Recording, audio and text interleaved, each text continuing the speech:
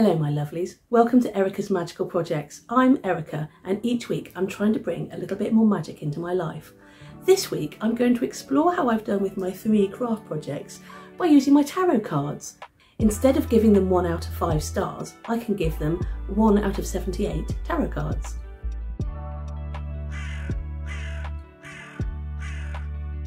I think it's really important to evaluate how you've done with each project. Sometimes there are things that can be improved and you don't want to shirk away from those facts. You want things to be better next time. That's why I try to use the tarot cards because they can explore lots of different aspects of the human condition. The first project I did in August was to celebrate Lammas and to complete another section of my Wheel of the Year. I haven't quite finished it. I really meant to, but you know, time does funny things, especially in summer. I think what I'm going to do is try and complete it before I get on to the next segment, which will be coming up in the next month. So I went to a festival for Lammas and I had a really nice time teaching crochet and hanging out with hippies and just, you know, being a festival person. I felt really wonderful and full of creative energy and for that reason I'm going to give this card the Queen of Wands.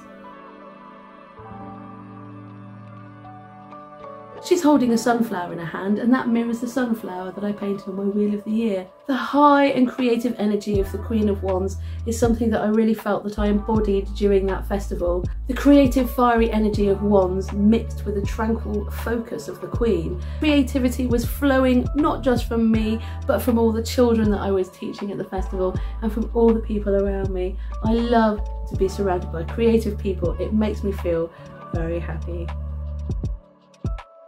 and then straight away I was off to another festival to teach more crochet. This was quite a rewarding experience for me as I was really impressed by the children.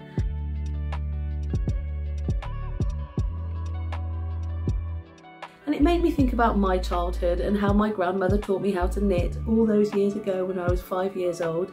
And for that reason, I'm going to give this project the Four of Cups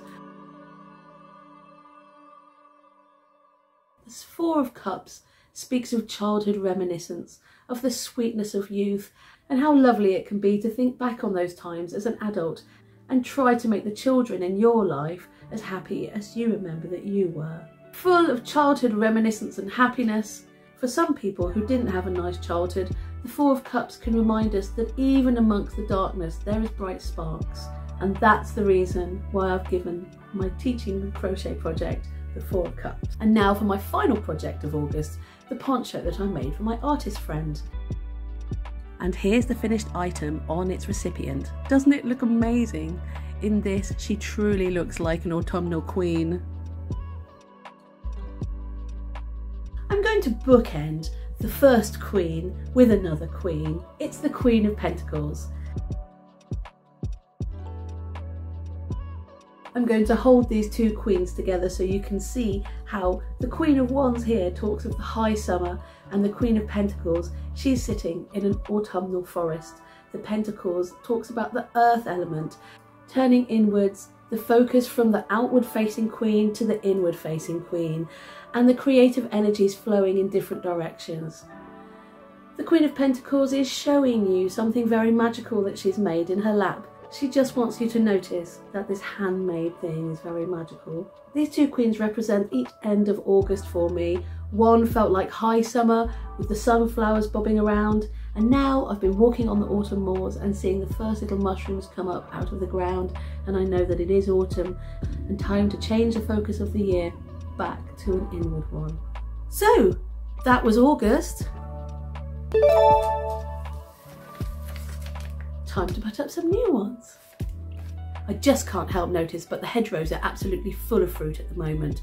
Blackberries, apples, rose hips, all kinds of fruit just begging to be picked and turned into something nice for the winter. And so I'm going to make some hedgerow jelly for my first project of September.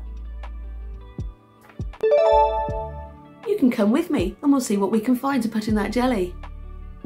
The next project I'm going to do for September is to make more ponchos. Now look, I know I've just made a poncho, but that was made with 100% wool and hand spun yarn, and it was really chunky, a size 7 millimeter hook. And all the way through the pattern, I was thinking, ooh, I wonder what this would be like with a DK yarn and a smaller hook. So I couldn't help myself. As soon as that bigger one was off the hook, I started planning the next ponchos. So I'm afraid there's another video to come with more ponchos. But this time, we'll have a little look at that pattern that I used rather than the yarns. So that's my second project for September. And then the wheel of the year will have turned again and we will be in Mabon. That's the autumnal equinox. And I'm definitely gonna get on top of that wheel of the year this time. Brilliant, right. Well, I can't say that I'm very pleased to see the end of summer but it's been very creative and very productive and I've met lots of people and thank you to all of you who've subscribed because I met you at a festival and I gave you a card. Hello! Thank you so much for watching and remember everything that you hand make is magical.